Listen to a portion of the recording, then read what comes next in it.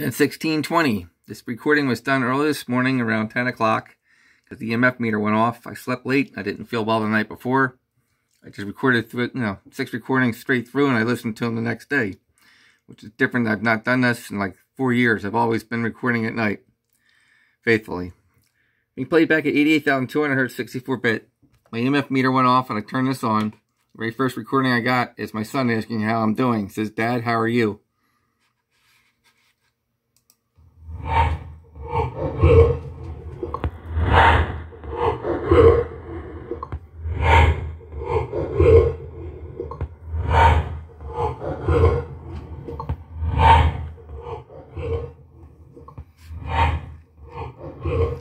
Always, when you increase the frequency of any recording high enough, the natural sound slows down.